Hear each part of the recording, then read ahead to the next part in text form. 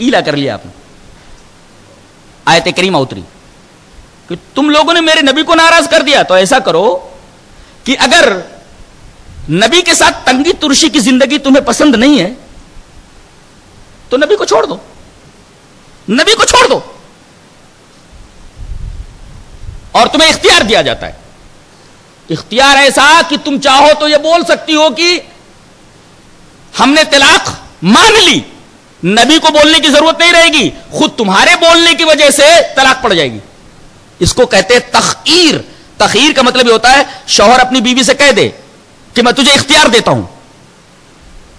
तू अगर मेरे साथ नहीं रहना चाहती तो मैं तुझे इख्तियार देता हूँ कि तू तलाक दे ले। अब औरत बोलती है मैं एक तलाक दे, मैं तलाक देती हूँ। तो यह तखीर है तलाक पड़ जाएगी। अच्छा कितनी तलाक पड़ेगी तखीर में? एक तलाक रज़ी। शौहर चाहे तो रुजू कर सकता है। शौहर चाहे तो रुजू कर सकता है।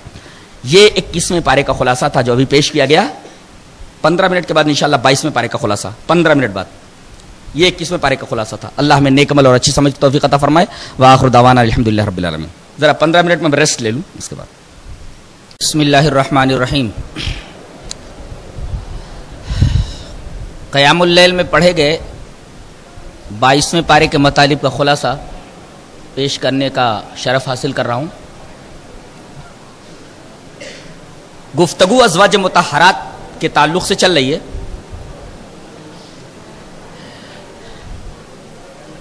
जब अल्लाह तबारक ताला ने आयत तखीर उतारी तो सबसे पहले हज़रत आयशा रज़ी अल्लाह तला ने फरमाया कि अल्लाह तबारक ताला ने हमें इख्तियार दिया है ना, कि हम चाहे दुनिया पसंद कर लें या रसूल को। मैं रसूलुल्लाह सल्लल्लाहु अलैहि को इख्तियार करती हूँ। उसके बाद तमाम अजवाज मतहरात ने यह ऐलान फरमा दिया कि हमें दुनिया नहीं चाहिए। हम तंगी तुर्शी में अपनी ज़िंदगी गुजार लेंगे, लेकिन रसूल का दामन छोड़ने के लिए तैयार नहीं है। फिर इन्हीं को खिताब करके अजवाज मतहरात को नबी करीम सल्लल्लाहु अलैहि वसल्लम की मुकद्दस और मोहतरम और मतहर बीवियों को खिताब करके फरमाया गया या निसा अन्नबी का हदिमिन निसा इन तकैतुन्न फला तखजान बिल कौल फ़ैतमाल्लदी फ़ी क़ल्बिही मरज़ुम व कुल्ल क़ौल मारूफ़ा व क़र्न फ़ी बुयूतिकुन्न वला तबर्रजन तबर्रुजल जाहिलियतिल ऊला व अक़िमन अस्सलात व आतीन ज़कात व अतिअन अल्लाह व रसूलह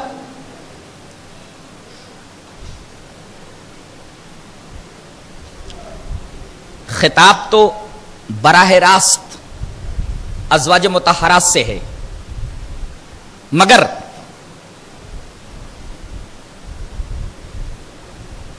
इस खिताब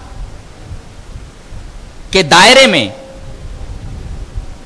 उम्मत की माएँ, उम्मत की बेटियाँ, उम्मत की बहुएँ सब आ गई। यह अहकाम सारी औरतों के लिए। क्या फरमाया गया कि अगर तुम्हारे अंदर तकवा है तो यानी ए मुसलमानों की बेटियों ए मुसलमानों की माओ ए मुसलमानों की बहनों ए मुसलमानों की बीवियों, तुम्हारे दिलों के अंदर तकवा होना चाहिए। अल्लाह का खौफ होना चाहिए। पहली चीज़ तो यह है। दूसरे, बिला ज़रूरत किसी अजनबी मर्द से तुम गुफ्तगु न करो। इसलिए कि अल्लाह तबारक व ताला ने औरत की आवाज़ को भी पर्दा करार दिया है। अल्लाह सादी ने एक बड़ी प्यारी बात कही है, कहता है, दरे खुर्रमी बरसराए बबन, कि बांगे जनजवे बरायत बुलंद। कहता है कि उस घर के ऊपर खुशी का दरवाज़ा बंद कर दे, जिस घर से औरत की आवाज़ ऊँची निकलती हो।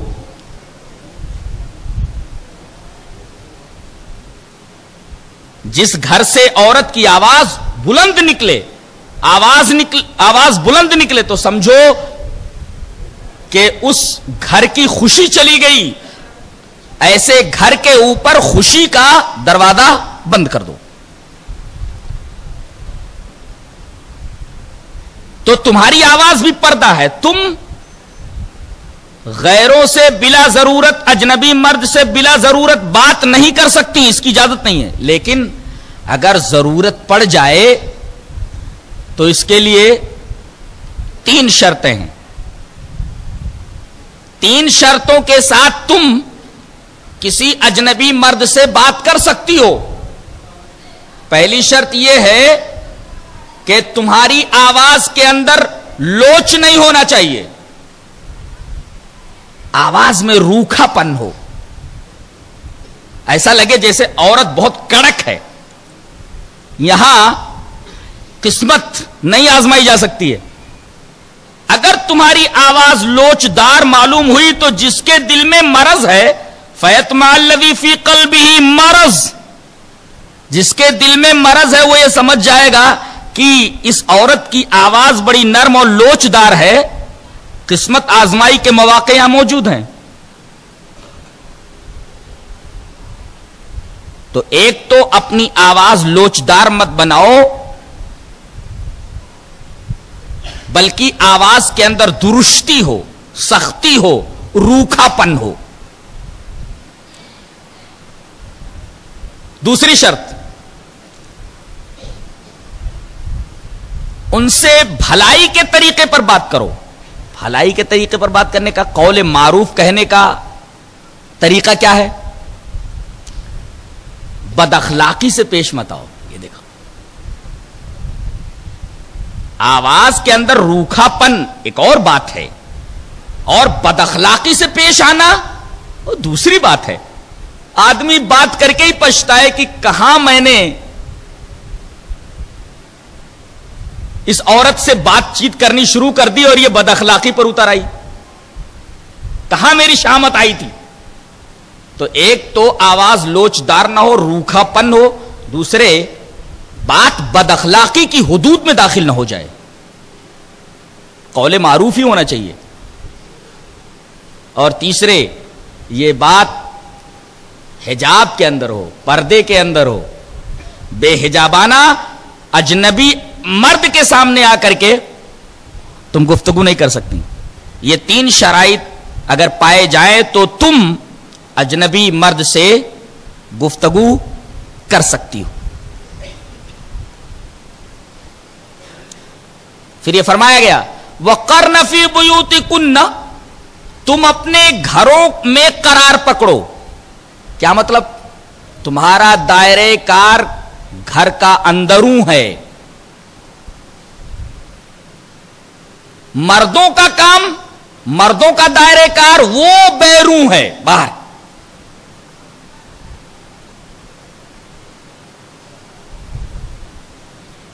बाज लोगों ने पर्दों के ऊपर, हिजाब के ऊपर तीन तरीके से एतराज़ किए हैं। पहला एतराज़ यह है कि पर्दा और घर के अंदर उनको मुसलसल रखना एक तरीके से कैद है। तो पर्दा औरतों के लिए कैद है। पहला एतराज़ अल्लाह ने इंसानों को आज़ाद पैदा कर दिया है। चाहे वो मर्द हो या औरत, तुम कौन होते हो उनको बेड़ियाँ डालने वाले? कौन होते हो तुम उनको कैद करने वाले? और ये पर्दा और घरों को उनके लिए लाजिम कर देना दर हकीकत औरतों के लिए कैद है। जेल खाना है। उनकी आज़ादी छीनना है।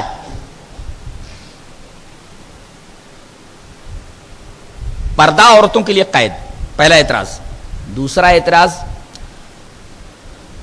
पर्दा औरतों की तरक्की में मुजाहिम है।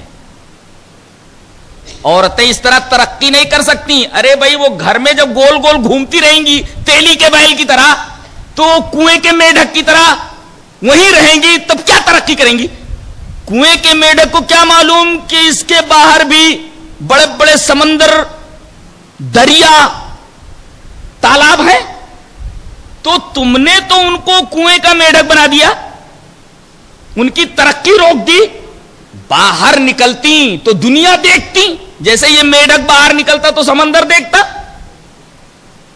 ये दूसरा एतराज़ कि तुमने तो औरतों को तेली का बैल बना दिया। जहाँ से चलता है, वहीं आकर रुकता है। घूम फिर करके वही जगह उसकी है। और तुमने औरतों को कुएँ का मेढक बना दिया। गोया ये पर्दा औरतों की तरक्की में रुकावट है, औरतों की तरक्की में मुजाहिम है। तीसरा एतराज़, कैद खाने में इंसान की सेहत पर बहुत बुरा असर पड़ता है। खुली हवा में घूमे फिरे तो इस खुली हवा का तबीयत के ऊपर बड़ा अच्छा असर पड़ता है। बहुत सारी बीमारियाँ खुली हवा में घूमने की वजह से करीब नहीं आती हैं। तुमने तो औरतों को जेल में बंद कर दिया है और इस जेल में बंद करने की वजह से, बाहर की हवा इनको ना लगने की वजह से, इनको मरीज़ बना दिया तुमने। ये पर्दा उनकी सेहत के लिए मुजिर है। तो पर्दा औरतों के लिए कैद है, पर्दा औरतों की तरक्की में मुजाहिम है, पर्दा औरतों की सेहत के लिए मुजिर है। ये तीन एतराजात पर्दे के ऊपर किए जाते हैं। अब हम अलग तरतीब इन तीनों सवालात के, इन तीनों एतराजात के जवाब दे रहे हैं। पर्दा औरतों के लिए कैद उस वक्त होता जब उन्हें बाहर निकलने की इजाज़त ही न दी जाती। जबकि दूसरे टुकड़े के अंदर बाहर निकलने की इजाज़त है। देखिए वकर नफी बुयूती कुन्ना अपने घरों को लाजिम पकड़ो, अपने घरों में करार पकड़ो। तुम्हारा दायरे कार, तुम्हारा दायरे अमल, तुम्हारा घर है, बराबर। वला तबर रजना और तुम बाहर न निकलो। तबर्रुजल जाहिलियतिल ऊला, पहली जाहिलियत का तबर्रुज इख्तियार करते हुए। क्या मतलब? तुम घर से निकल सकती हो एक शर्त के साथ कि तबर्रुज ना हो। देखिए यहाँ। पर्दा कैद तो जब होता, जब औरत को वहाँ से निकलने की मुकम्मल इजाज़त ही ना दी जाती। यहाँ यह कहा जा रहा है कि तुम घर से बाहर निकल सकती हो, मगर एक शर्त है, तबर्रुज नहीं होना। यह तबर्रुज क्या होता है? यह नुक्ता लेकर के जाओ आज, कुरान का नुक्ता है। तबर्रुज ये लफ्ज बुर्ज से बना है, बुर्ज। बुर्ज, जानो।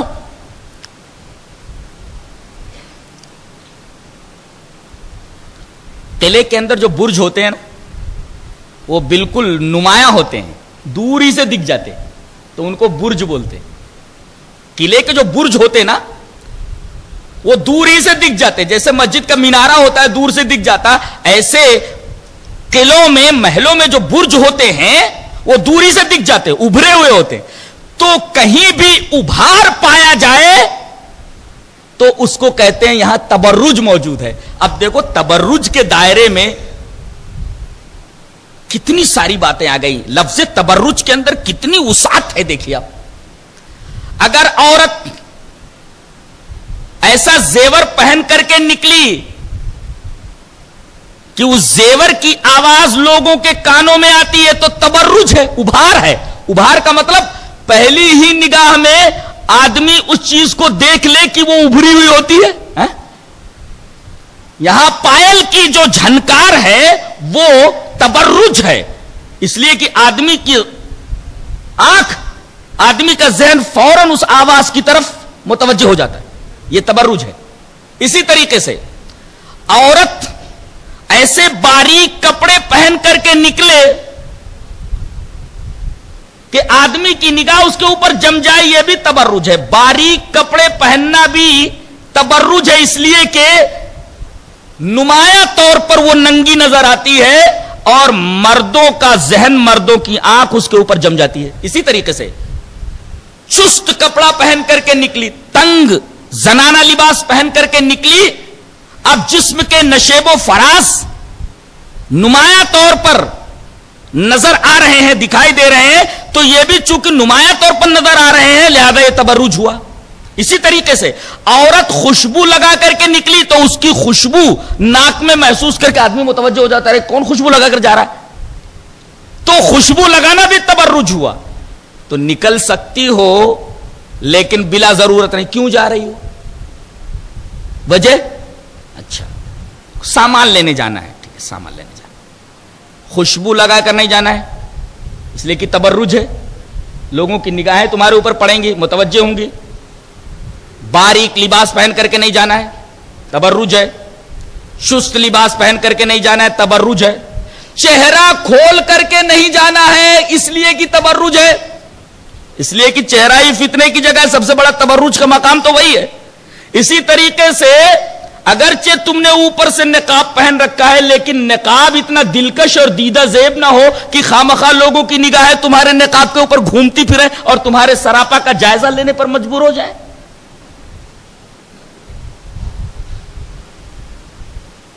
तो इस तरीके के फैशनेबल जो व्हील्स आ रहे हैं, नकाब आ रहे हैं, वो भी दर हकीकत तबर्रुज के दायरे में आ जाते हैं। अगर ये तमाम शराइत मौजूद हैं, बाहर निकल सकती हो। बाहर की हवा खा सकती हो। कुरान ने मना नहीं किया, शरीयत ने मना नहीं किया है कि दिन में मियाँ बीवी खाने पीने से फारिग हो जाएँ तो कहीं घूमे फिरे ना। घूम फिर सकते हैं आप। जहाँ इख्तलाते मर्दोजन्ना हो ऐसी जगह पर ले जा सकते हैं। किसी बाग में टहल कर आ सकते हैं। दरिया के किनारे टहल कर आ सकते हैं। एकदम औरत को अगर कैद में रखा जाता, बाहर निकलने की इजाज़त ना दी जाती, तब यह एतराज़ हो सकता था।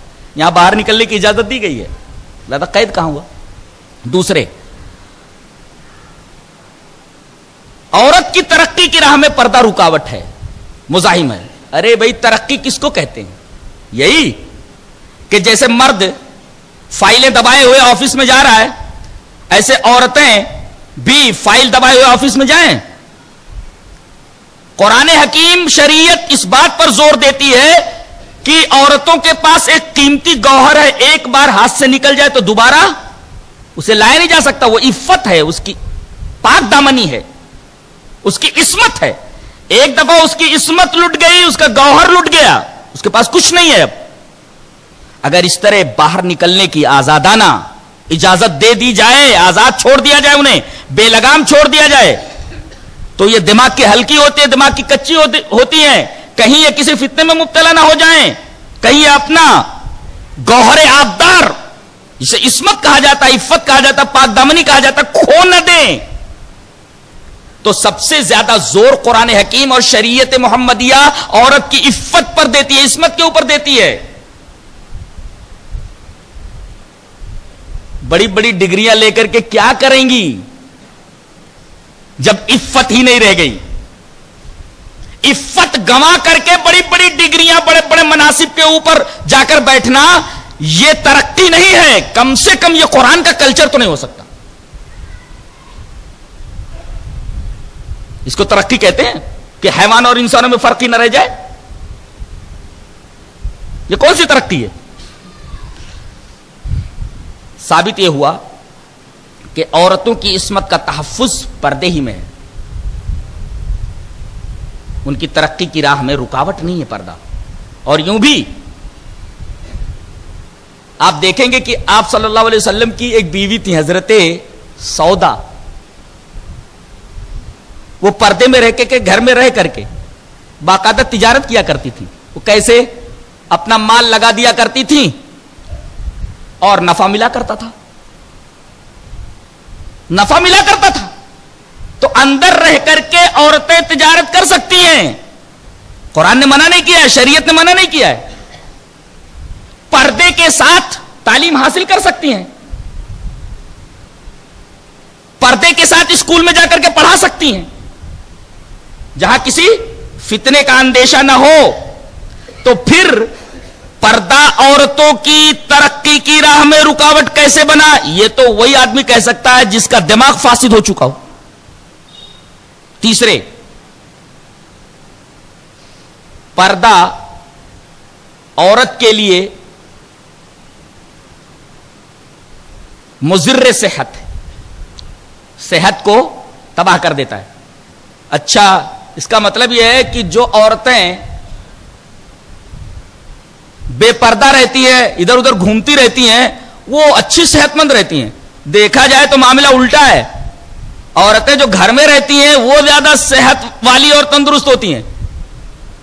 इसलिए कि घर में है, कभी कोई चीज़ खाने को दिल बोला, फ़ौरन किचन में जाकर के बना खा लेंगी। अब एक औरत बाहर गई है, उसको कोई खाने की चीज़ की इश्तेहा है, वक्त के ऊपर उसे नहीं मिल रहा है।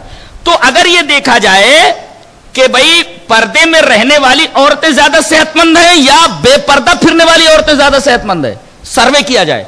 सर्वे के बाद यह नतीजा निकलेगा कि हकीकत इसके बरक्स है, जो औरतें पर्दे में रहती हैं, वही ज़्यादा सेहतमंद होती हैं। और पर्दे में रहने का एक ज़बरदस्त फ़ायदा यह है कि औरत हमेशा अपने बच्चों के ऊपर निगाह रखेगी। इसलिए कि बच्चे ही कौम के मेमार होते हैं, कौम का मुस्तकबिल होते हैं, कौम का फ्यूचर होते हैं, और माँ की आगोश उनके लिए पहला मदरसा है। अगर यह बाहर बेपर्दा फिरा करे, फिर यह मदरसा कहाँ रह गया? बच्चों के ऊपर इसका बड़ा ज़बरदस्त असर पड़ेगा और बहुत बुरा असर पड़ेगा। लिहाजा ये तीनों के तीनों एतराजात इंतहाई बोगस और इंतहाई बातिल टाइप के हैं, बातिल किस्म के।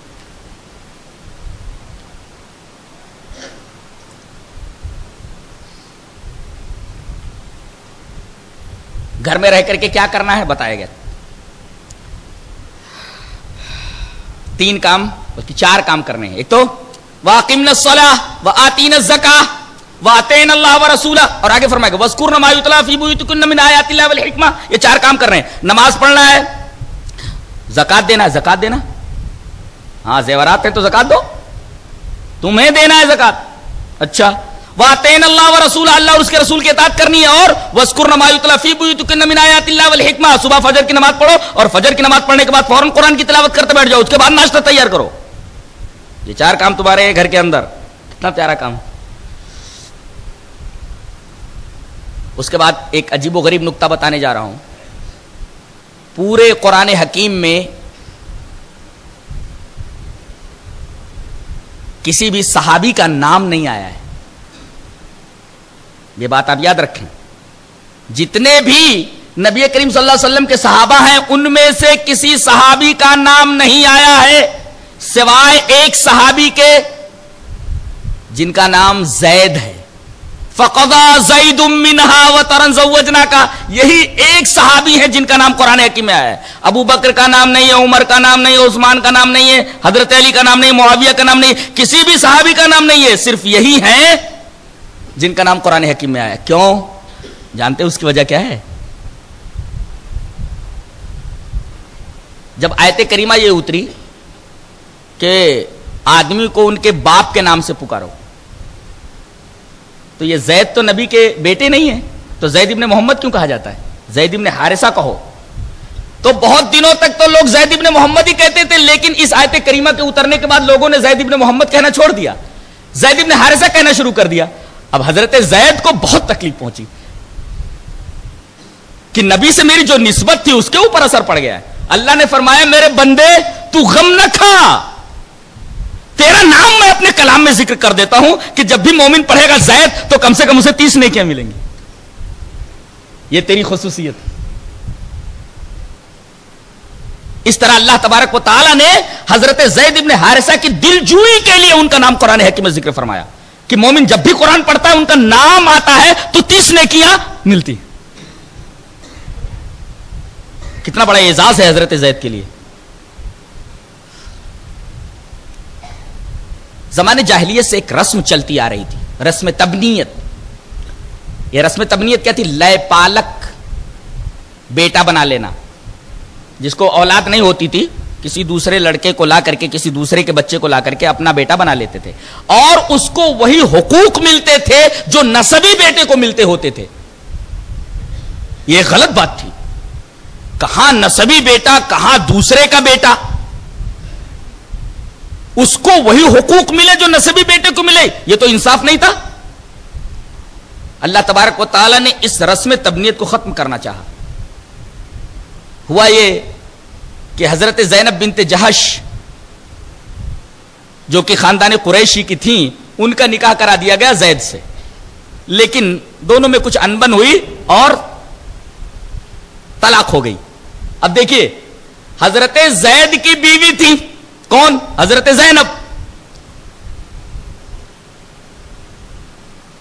तलाक के बाद अल्लाह तबारक ने कहा कि तुम जैनब बिन जा से शादी कर लो।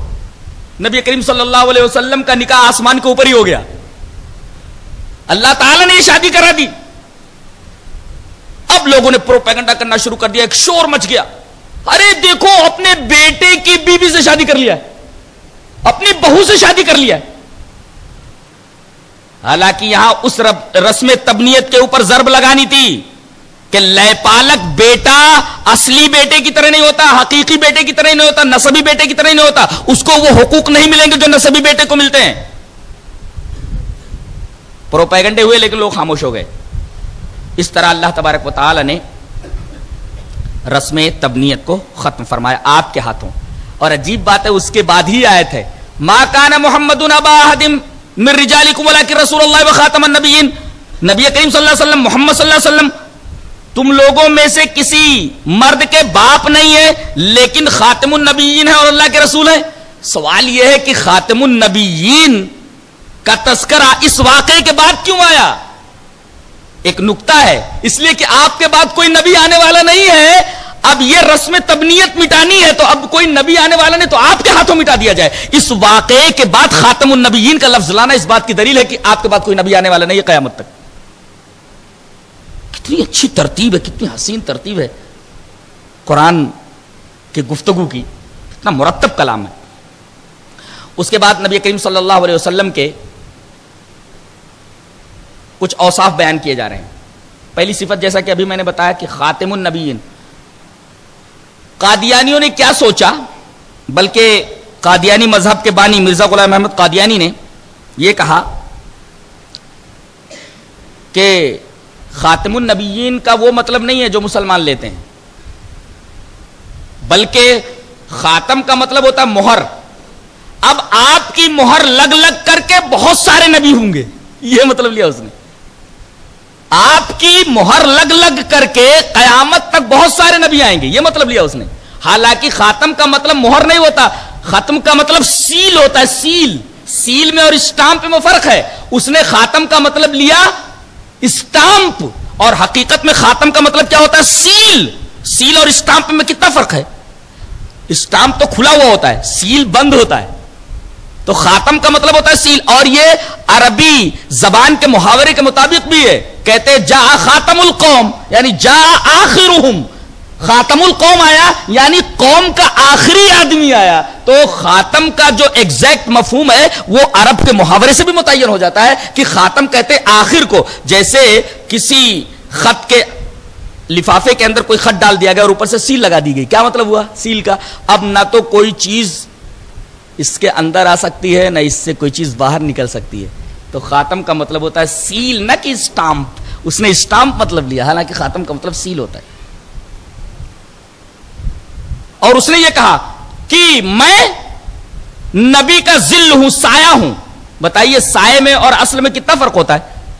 बताइए कि एक आदमी की तस्वीर आईने में है तो वो आदमी और आईने की तस्वीर दोनों बराबर हैं।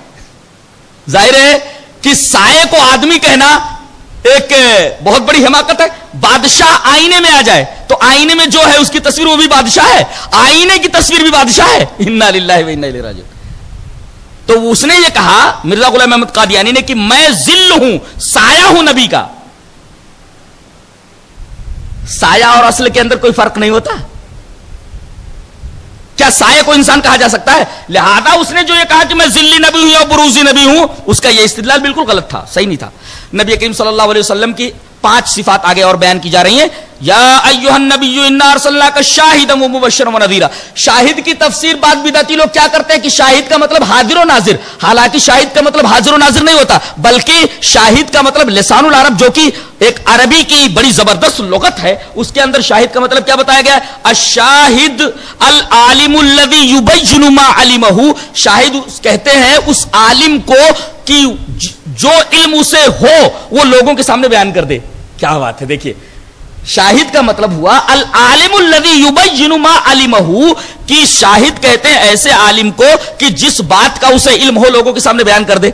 यानी नबी करीम सल्लल्लाहु अलैहि वसल्लम को अल्लाह की तरफ़ से जो बात बताई गई, जो बात बताई गई, वो आपने लोगों के सामने बयान कर दिया। आप आलिमुल गैब नहीं थे। इसलिए कि इल्म गैब किसे कहते हैं? मालूम है? इल्म गैब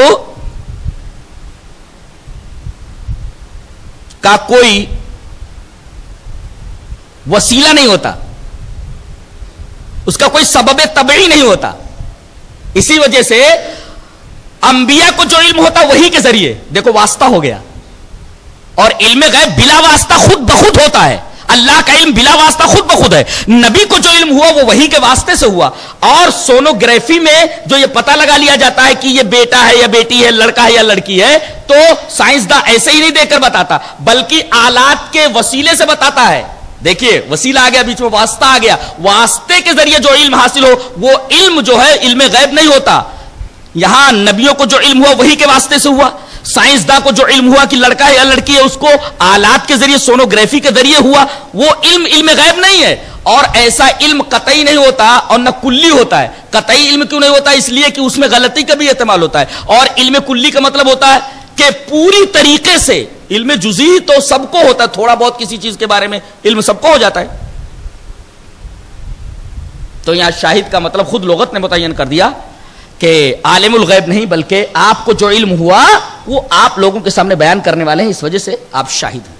और कहा गया, आप सिराज मुनीर है। सिराज मुनीर, रोशन चराग। देखो जरा, ट्रैफ़िक हो, इस तरफ़ से भी सवारियाँ आ रही है, इस तरफ़ से भी सवारियाँ आ रही है, इस तरफ़ से भी सवारियाँ आ रही है, इस तरफ़ से भी सवारियाँ आ रही है। बताइए, अगर कोई ट्रैफ़िक कंट्रोलर ना हो तो हादसा तो बराबर होते रहेंगे। नबी करीम सल्लल्लाहु अलैहि वसल्लम की हैसियत ट्रैफ़िक कंट्रोलर किसी है, आप बताएँगे कि ये सवारियाँ कौन से रास्ते से जाएँगी? ये रास्ता जन्नत का रास्ता है और ये रास्ता जहन्नम का रास्ता है। इसी तरीके से एक रेड सिग्नल होता है और एक ग्रीन सिग्नल होता है। ग्रीन सिग्नल बताता है कि मामला ओके है। अब आगे बढ़ जाओ। रेड सिग्नल बताता है, रुक जाओ। ऐसे ही आपसे राजे मुनीर है। आप बोले कि बैठ जाओ तो आप पर ईमान लाने वालों को चाहिए कि बैठ जाए। आप कहे, खड़े हो जाओ, खड़े हो चल पड़ो चल पड़ो। रुक जाओ तो रुक जाओ। ये आपकी हैसियत है। जो नबी करीम सल्लल्लाहु अलैहि वसल्लम का कलमा पढ़ता है, वो सराज मुनीर तस्लीम करे नबी को।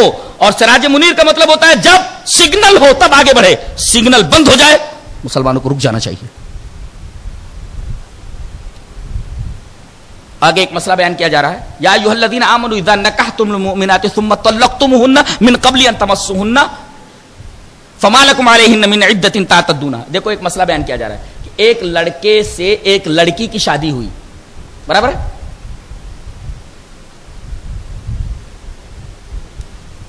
शादी में महर पाँच हज़ार रुपए थी।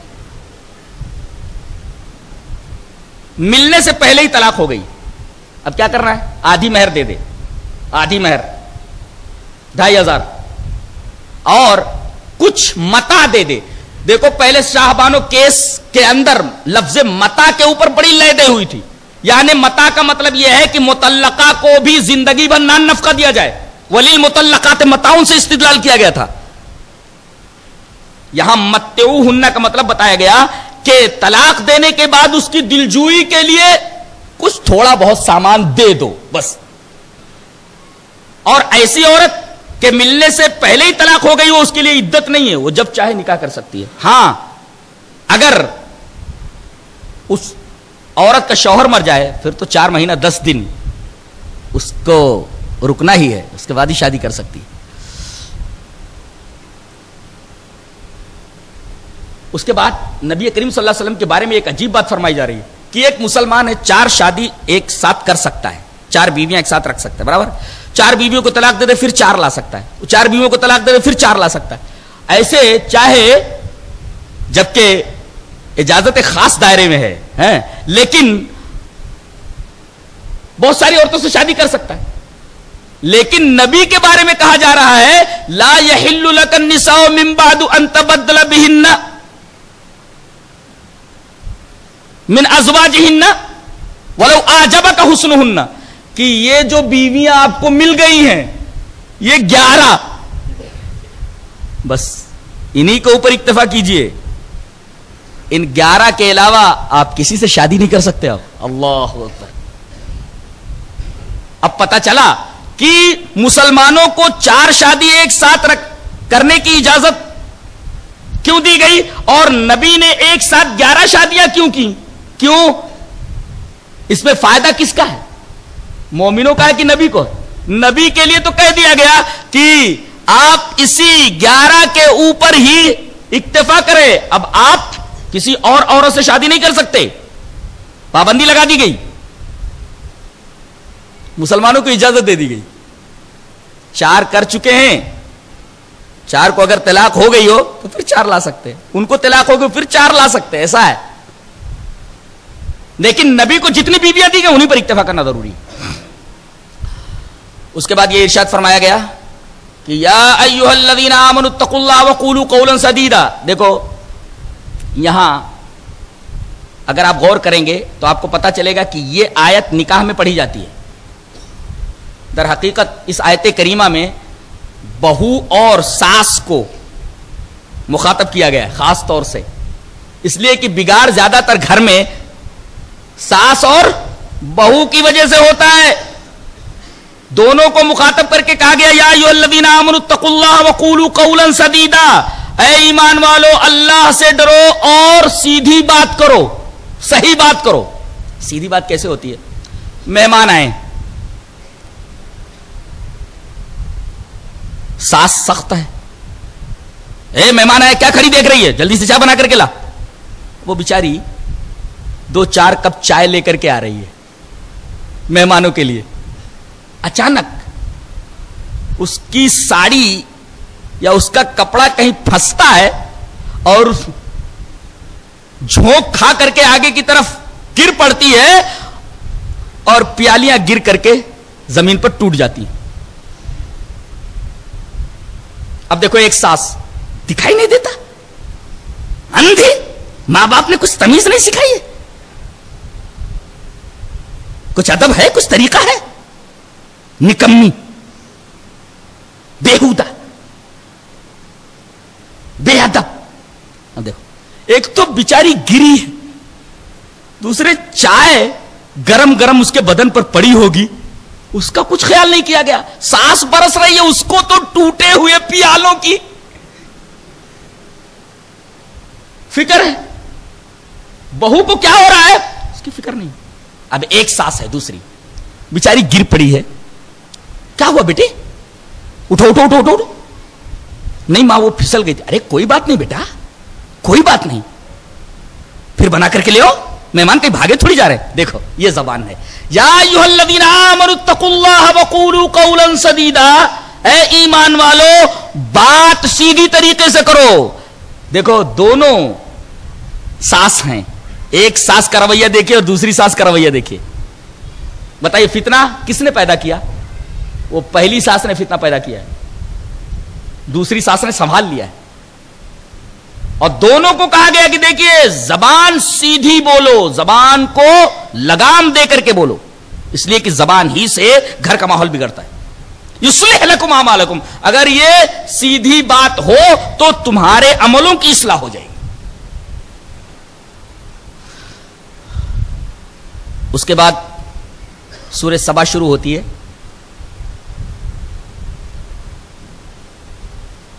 जानते हैं ये सबा कहाँ था? ये यमन के दारुसल्तनत सना से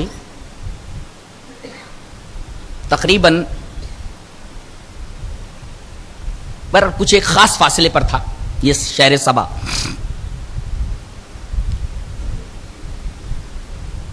इस शहर की खसूसियत ये थी। अल्लाह ने फरमाया, लकद कान अली सबइन फ़ी मस्कनीम, आया जन्नतान यमीनी व शिमाल। बलदतुन तय्यबतुन रब्बुन गफूर। कहते हैं कि दो रवैया कतारों में तकरीबन 300 मील तक बागात का सिलसिला चला गया था। अगर कोई औरत अपने सर पर टोकरा लिए फलों के, दरख्तों के नीचे से गुजर जाती तो बगैर फल तोड़े हुए पूरा टोकरा भर जाया करता था। जानते हैं? ये 300 मील तक दो रूया कतारों के अंदर जो बागात का सिलसिला था, उसकी इस अफजूदगी का और हरे भरे रहने का राज क्या था? डैम थे। तकरीबन सौ डैम थे छोटे छोटे और एक बड़ा डैम था जिसको कहते सद्दे मारिब सबसे बड़ा डैम था ये। ज़रूरत के वक्त छोटे बड़े डैम से ये पानी ले लिया करते थे। और बलदतुन तयबतुन कुरान ने कहा, वहाँ कोई जहरीला जानवर नहीं पाया जाता था। न मक्खी, न मच्छर, न बिच्छू, न सांप। और वहाँ की आबो हवा माहौल वहाँ का बहुत ही प्यारा। बलदतुन, तयबतुन के दायरे में सारी चीज़ें आ गई। लेकिन उस कौम ने अल्लाह तबारक ताला की नाशुक्री शुरू की तो वही डैम, जिससे पानी लिया करते थे और बाग, आबियार हुआ करते थे, बागों की आबियारी होती थी, वो बंद टूट गया, सारे दरख्तों को बहा ले गया और पूरे के पूरे मकाना डूब गए, बहुत सारे लोग मर गए, चंद लोग अपनी जान बचाकर वहाँ से भाग सके। तो अल्लाह जब नेमत दे तो जितनी बड़ी नेमत दे, उतना ज़्यादा शुक्रिया अल्लाह तबारक का अदा करना चाहिए।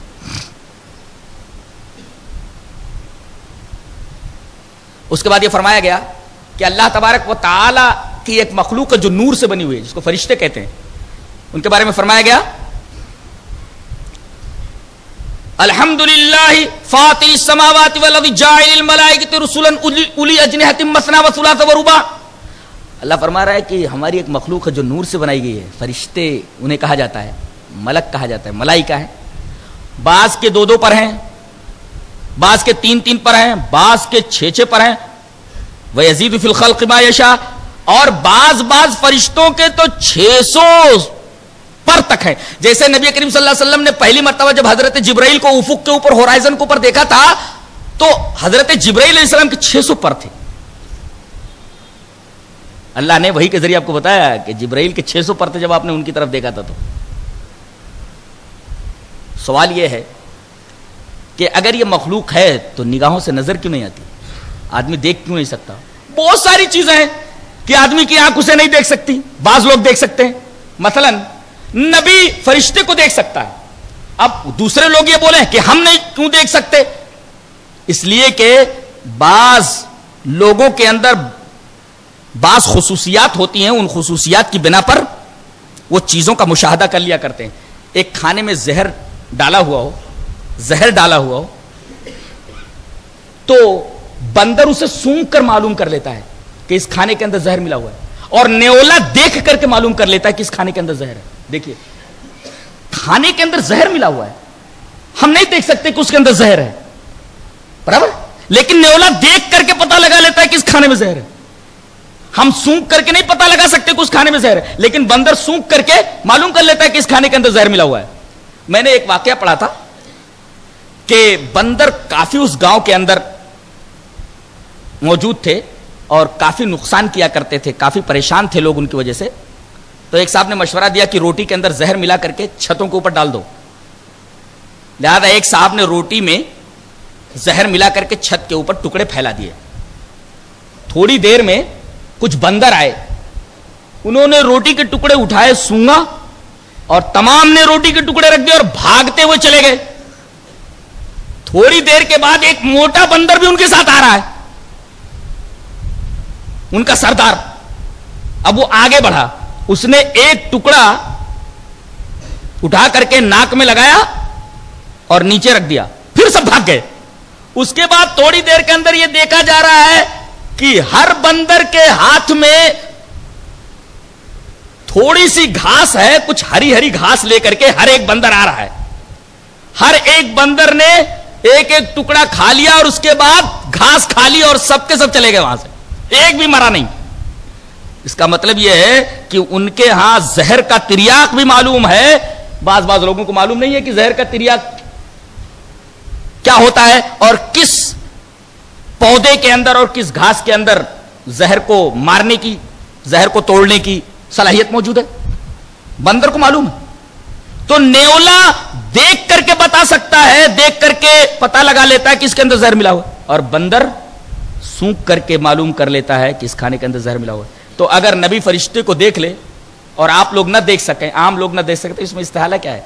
नबी के अंदर एक खास बसीरत होती है। उस बसीरत की बना पर वो महसूस कर लेता, देख लेता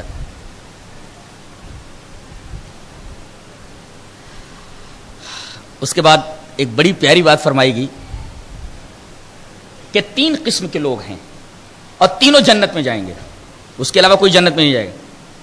फमिन हम ज़ालिमुल्लिनफ्सिही वमिन हम वमिन हम साबिकुम बिल कुछ लोग हैं जो अपने नफ्स के ऊपर जुल्म करने वाले हैं। यानी नेकियाँ भी की हैं और गुनाह भी बहुत किए हैं। अच्छा और वमिन हम और एक गरोह ऐसा है जो नेकियाँ ज़्यादा किए हुए हैं, बुराइयाँ कम हैं। और एक वमिन हम साबिकुम बिल खैरात। बुराइयाँ तो आटे में नमक के बराबर है, भलाइयों के मैदान में बहुत आगे हैं। तो ये जो साबिकुम बिल खैरात है, भलाइयाँ बहुत ज़्यादा बुराई नमक की तरह आटे में, ये लोग बिला हिसाबो किताब जन्नत के अंदर चले जाएँगे, साबिकुम बिल खैरात वाले। और मुक्तसिद जिनकी बुराइयाँ कम हैं, नेकियाँ ज़्यादा हैं, ऐसे लोगों को हिसाब किताब के बाद। साबिकुम बिल खैरात वाला जो गरोह है, वो बिला हिसाबो किताब जन्नत के अंदर जाएगा। और मुक्तसिद जो है, जिनकी बुराइयाँ ज़्यादा हैं, नेकियाँ कम हैं, इनको हिसाबो किताब के बाद जन्नत के अंदर दाखिल किया जाएगा। और जालिमुल नफ से ही थोड़ी नेकियाँ की हैं, गुनाह बहुत हैं। तब तो अब या तो अल्लाह अपनी रहमत से उनको बख्श दे या नबी की सिफारिश के दायरे में आ जाए, तब बख्शिश हो जाए। या फिर आखिरी सूरत है, जहन्नम में अच्छी धुलाई हो और धुलाई के बाद फिर उनको जन्नत में डाला जाए। लेकिन जन्नत में ये तीनों गर हो जाएँगे। एक बिला हिसाब किताब और एक हिसाब किताब के बाद और एक धुलाई के बाद या शफात के दायरे में आकर के।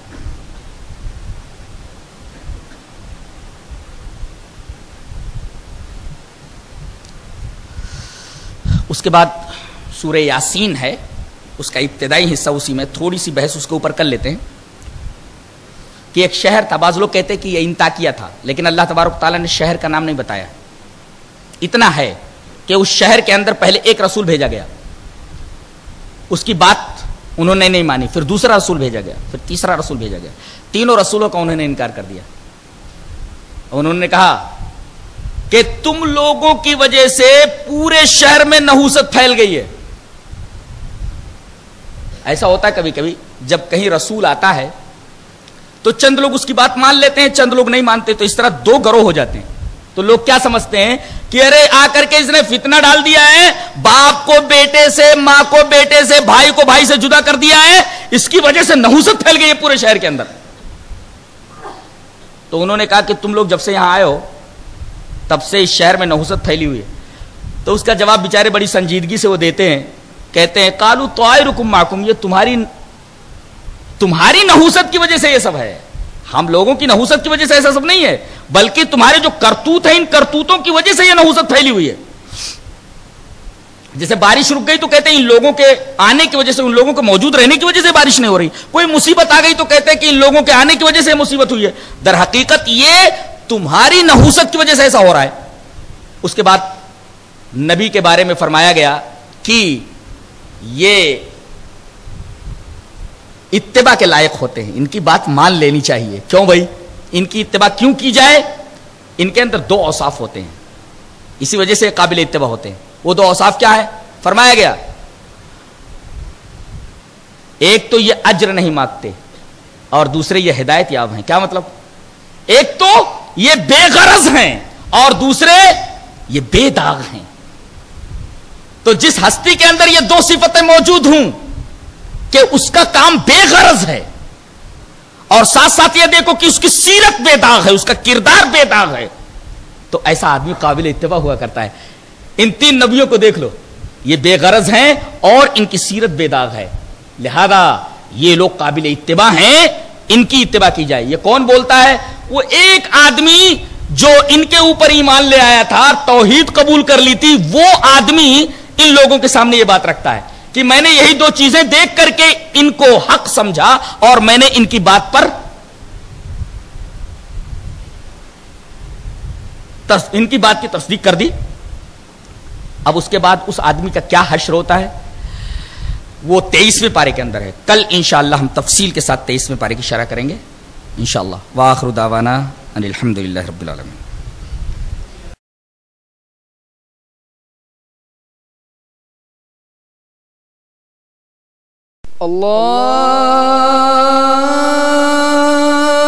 अकबर अल्लाह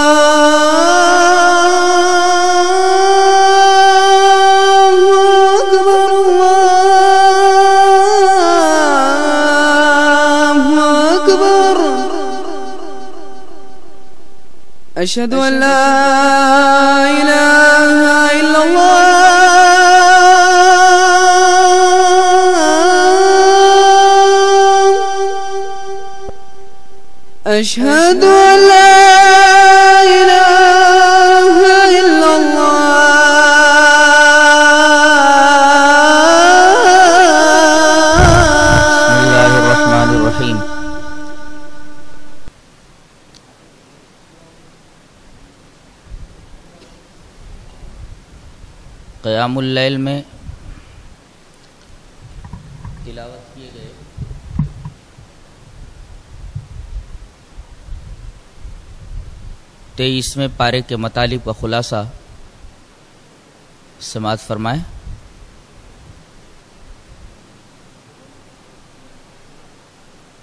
सूर्य यासीन चल रही है। इस अजीम सूरा का इब्तदाई हिस्सा बाईसवें पारे के आखिर में है।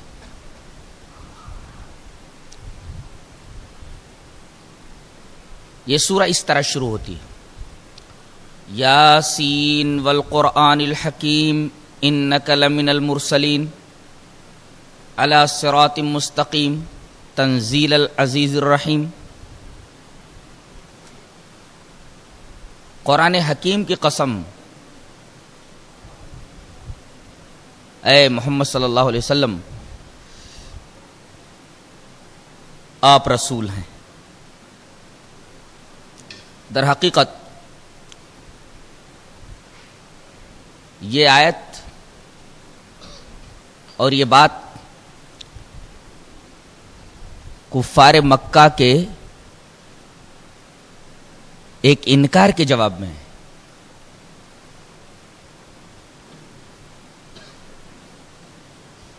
इनकार क्या है? वयकूलदीन कफरू लस्त मुरसला। काफिर ये बोलते हैं कि आप रसूल नहीं हैं। तो अल्लाह फरमाता है, कुरान हकीम की कसम, आप रसूल हैं। पूरा कुरान खोलकर देख डालिए।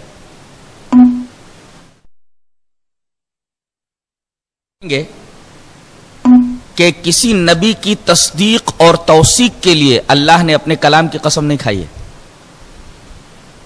सिर्फ़ हमारे नबी जनाब मोहम्मद रसूलुल्लाह सल्लल्लाहु अलैहि वसल्लम की वो ज़ात मुबारक है,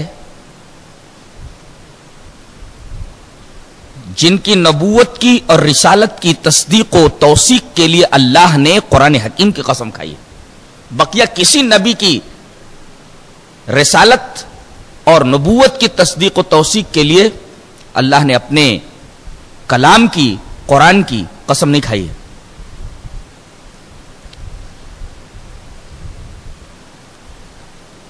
उसके बाद यह फरमाया जा रहा है कि नबी जब कहीं भेजा जाता है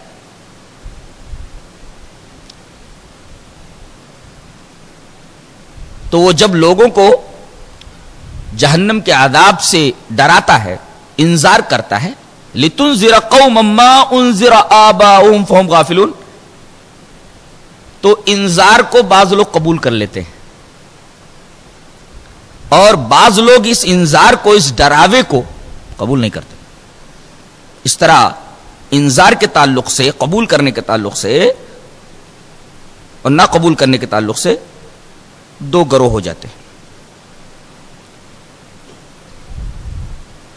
एक गरोह जो इंजार को कबूल कर लेता है,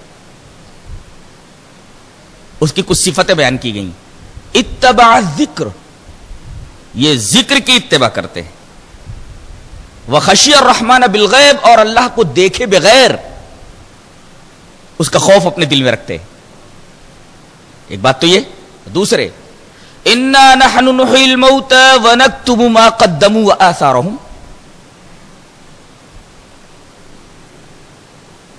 हम इंसान के आमाल को भी लिख रहे हैं और इंसान के आमाल के असरात को भी लिख रहे हैं। अल्लाह अकबर। माकदमू से इंसान के आमाल का ज़िक्र किया गया है और वह आसारहम से इंसान के आमाल के असरात का ज़िक्र किया गया है। यानी, जहाँ हम इंसान के आमाल का ज़िक्र या उसकी किताबत लिखवा देते हैं, उसकी किताबत करवा देते हैं, इसी तरह उनके आमाल के असरात को भी हम लिख लेते हैं। मरने के बाद आमाल का सवाब भी मिलता रहता है और आमाल के असरात का सवाब भी मिलता रहता है। आमाल लिख लिए जाते हैं, वो तो आपको मालूम ही है। आमाल के असरात क्या होते हैं? मसलन कोई अच्छी किताब छोड़ गया कोई सराय बनाकर चला गया, जिसको सदक़े जारिया कहते तो उसके इन आमाल के असरात का सवाब बराबर मरने के बाद उसको पहुँचता रहेगा। यह है आमाल और उनके असरात। जो लोग इंजार को कबूल नहीं करते, उनके बारे में फरमाया गया कि इन्ना जालना फ़ी आनाकहिम अगलालन फहियल अज़कानी फहुम मुकमहुन। थुम्मा जालना बैनि अयदीहिम व मिन खल्फिहिम सद्दन फअखशैनाहुम फहुम ला युबसिरून। इनके गलों में, इनकी गर्दनों में हम बेड़ियाँ डाल देते हैं। इस तरह इनकी गर्दन बिल्कुल सीधी हो जाती है। खिंजीर को देखा है आप लोगों ने? गौर से देखेंगे तो यह पता चलेगा कि ये वो जानवर है कि न तो अपनी गर्दन को दाएँ घुमा सकता है, न अपनी गर्दन को बाएँ घुमा सकता है, न अपनी गर्दन को नीचे कर सकता है। सिर्फ़ सामने देख सकता है। उसको अगर दाएँ जानिब देखना है तो उसे दाएँ तरफ़ बिल्कुल मुड़ना पड़ेगा। बाई तरफ़ अगर हमला करना है तो बाई तरफ़ बिल्कुल मुड़ना पड़ेगा। पीछे की तरफ़ देखना होगा तो बिल्कुल पीछे की तरफ़ मुड़ना पड़ेगा। उसकी गर्दन बिल्कुल सीधी रहती है, दाहिने तरफ़ नहीं मुड़ सकती, बाएँ तरफ़ नहीं मुड़ सकती, नीचे की तरफ़ नहीं झुक सकती। तो ऐसे ही हम उन लोगों को जो इंजार को कबूल नहीं करते, ऐसे लोगों की गर्दनों में हम बेड़ियाँ डाल देते हैं कि खिंजीर की गर्दन की तरह उनकी गर्दन बिल्कुल सीधी रहती है, ना दाएँ देख सकते, ना बाएँ, और ना पीछे और ना नीचे। नीचे नहीं देख सकते, उसका मतलब क्या है? अपने वजूद को नहीं देख सकते। कम से कम अपने वजूद को देखते और गौर करते तो अल्लाह तबारक ताला की मारिफत हासिल होती।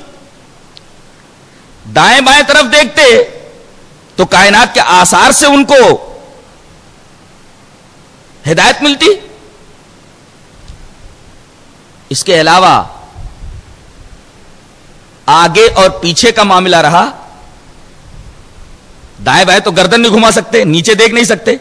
रहा आगे का मामला और पीछे का, बताया गया। वजालना मिम्बईन सद्दम खलफीम सद्दा। हमने उनके आगे पीछे एक दीवार खड़ी कर दी है। आगे भी नहीं देख सकते, पीछे भी नहीं देख सकते। ऐसी दीवार हम कब खड़ी करते हैं? जब उनके बारे में हक पूरा हो चुका होता है। बात उनके बारे में पूरी हो चुकी होती है। और ये मालूम हो जाता है कि अब ये लोग ईमान लाने वाले नहीं लकद हक्कल कौल अलैहिम। इनके ऊपर बात पूरी हो जाती है। तो अब ये किसी भी तरीके से हिदायत नहीं हासिल कर सकते।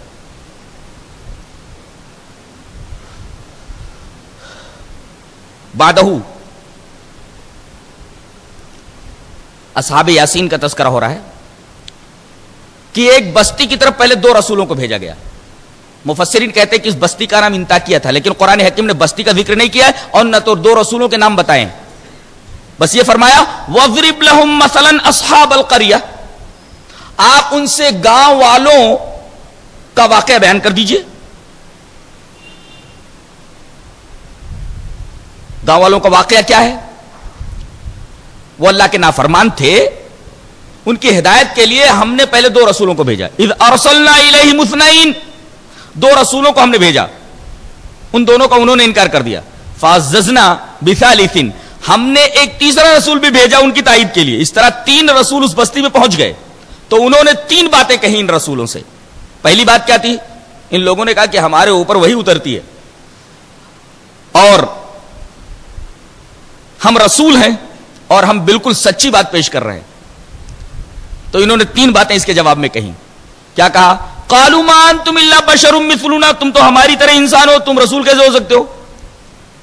लिहाजा तुम रसूल नहीं हो सकते। वमा अंजल रहमान रहमान ने तुम्हारे ऊपर कुछ नाजिल नहीं किया, झूठ बोलते हो कि हमारे ऊपर ऊपर से वही उतरती है? इन अन तुम इल्ला तकदीबून तुम कहते हो कि हम सदाकत पेश कर रहे झूठ बोल रहे हो तुम। इन तीन बातों के जवाब में उन्होंने दो बातें कही। कालू रब्बुना या आलम लमुरसलून। हमारा रब जानता है कि हम उसके भेजे हुए रसूल हैं। और दूसरी बात, वमा अलैना मुबीन। हमारे ऊपर जो ज़िम्मेदारी थी वो हमने पूरी कर दी।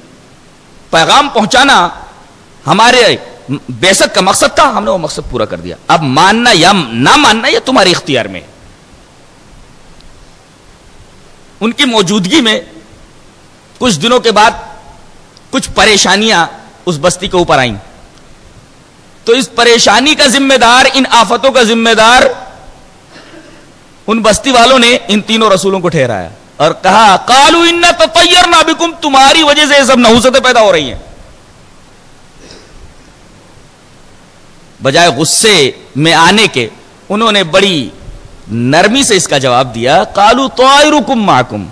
ये हमारी नहुसत की वजह से परेशानियाँ तुम्हारे ऊपर नहीं आ रही हैं, बल्कि ये तुम्हारी बदामालियों की वजह से, तुम्हारे शिरक और कुफर की वजह से ऐसा हो रहा है। फिर आगे एक शख्स का तस्करा हो रहा है। पता यह चलता है कि हर बस्ती के अंदर कोई ना कोई रूह ऐसी रहती है जो हिदायत को कबूल करने के लिए आगे बढ़ती है। पूरी बस्ती में सिर्फ़ एक आदमी ऐसा मौजूद था, जिसकी समझ में बात आ गई, और उसने ईमान कबूल कर लिया।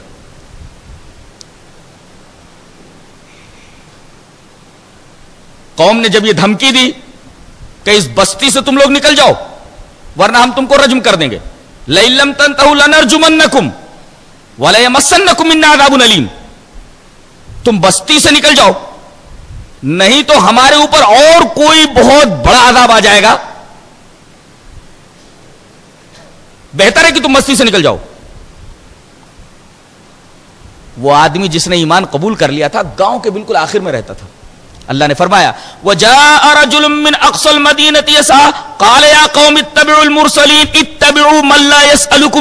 मुहतदून दौड़ा दौड़ा आया गाँव के किनारे से। कि वो रसूलों को गाँव से निकाला जा रहा है और रजम करने की धमकी दी जा रही है। कौम के सामने खड़ा हो गया। पूरी जुरातमंदी के साथ, पूरी डेयरिंग के साथ, ईमान इंसान के अंदर कितनी जुरात पैदा कर देता है, इसका अंदाज़ा इस वाक्य से लगाया जा सकता है। पूरी कौम के सामने तन्हा एक नौ मुस्लिम मर्द मोमिन खड़ा हो जाता है। कहता है, कौम तुम्हें क्या हो गया है? ए मेरी कौम, तुम्हारी समझ को क्या हो गया है? इतबेउल मुरसलीन कौम इतबेउल मुरसलीन, ए मेरी कौम, मुरसलीन का कहना मान लो।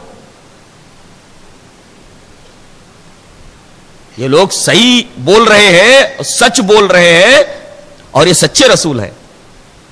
और इनकी सदाकत के ऊपर दो दलीलें पेश करता है। इतबुकुम अजरा। देखो कितनी दूर से आए हैं। तुम्हें सही बात बताने के लिए कुछ तुमसे मांग रहे हैं। यानी बेगरज हैं ये। मल्ला असलुकुम अजरा। वो मुहतदून और दूसरी बात ये बताओ, क्या इनके किरदार के ऊपर कहीं अंगुशनुमाई की जा सकती है? यानी एक तरफ़ तो ये इतनी दूर से आकर के तुम्हें हिदायत की बात बता रहे हैं और उजरत में कुछ नहीं ले रहे हैं। और दूसरी चीज़ की इनकी सीरत बिल्कुल बेदाग है। एक ही जुमले के अंदर इस नौ मुस्लिम ने इन रसूलों की सदाकत, उनकी नबूत और रिसाला की तस्दीक के सारे दलाइल समेट कर रख दिए कि जो बेगरज हो और जिसकी सीरत बेदाग हो, वो रसूल होता है और उसकी बात मान लेनी चाहिए। फिर इसकी तकरीर आगे बढ़ती है। बोलता है, ये रसूल क्या कह रहे हैं? यही ना कि बुत परस्ती छोड़ दो। और सिर्फ़ एक अल्लाह की बंदगी करो, एक अल्लाह की इबादत करो, कौन सी बुरी बात कह रही है? कौन सी गलत बात कह रही है? मुझे बताओ वमाली आबुदुल्लदी फतौरनी वही तुरजाउन आज तखद आलिहतन रहमान तुगनी इन्नी लफी मुबीन, इन्नी लफी मुबीन, इन्नी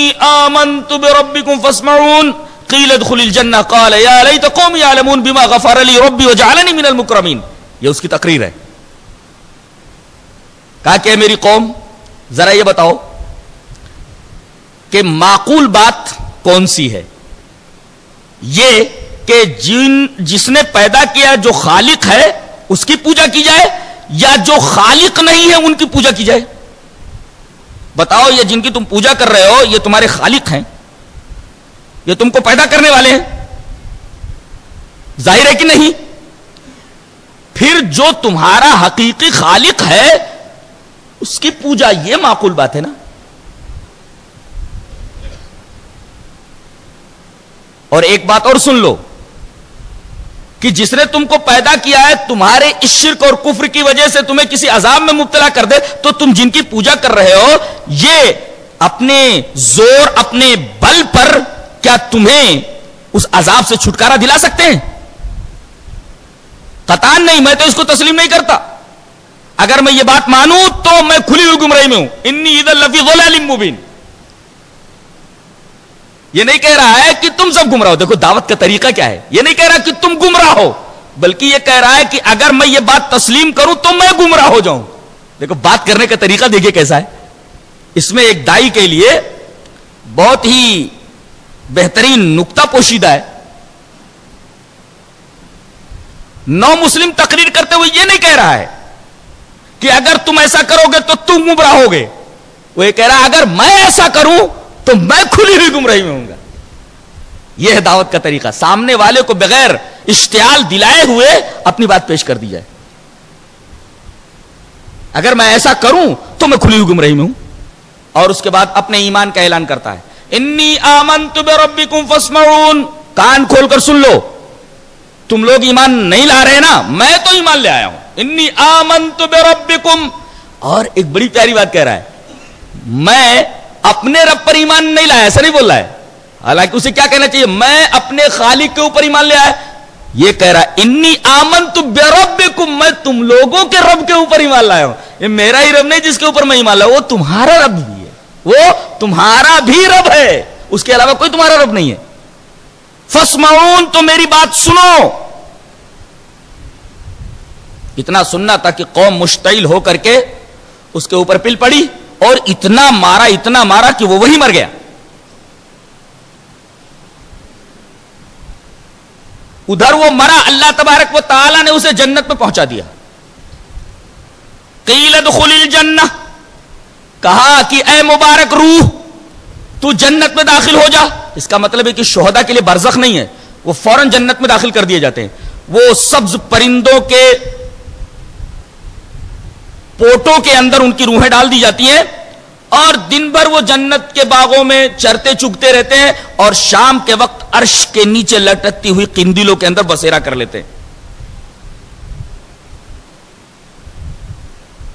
वहाँ पहुँच करके जन्नत में कहने लगा, काल कौमी आलमून काश मेरी कौम जान लेती, बिमा गफल अली रब्बी वजालनी मिनल मुकरमीन, कि अल्लाह ने मेरे गुनाहों को किस तरह बख्श दिया और मेरा कितना इकराम किया है, मेरी कितनी इज़्ज़त फरमाई है अल्लाह ने।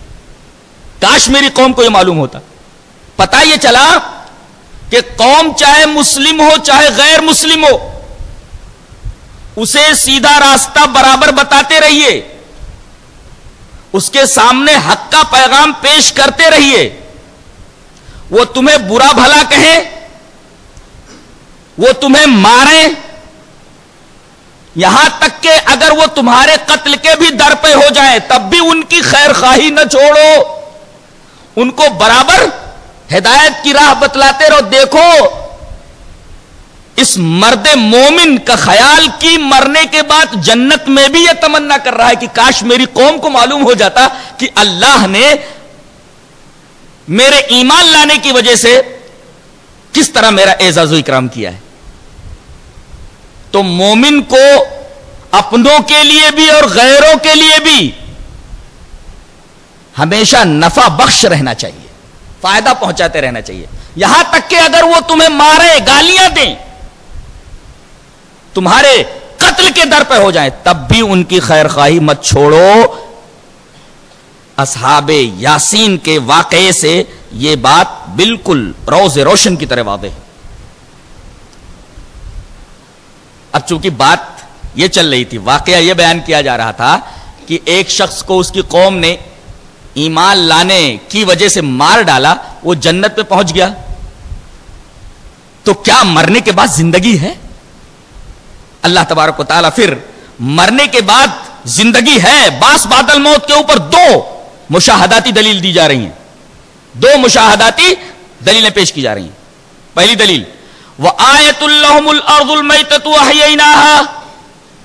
मुर्दा ज़मीन को देखो कि हम उसको किस तरह ज़िंदा करते हैं। यह एक निशानी है हमारी।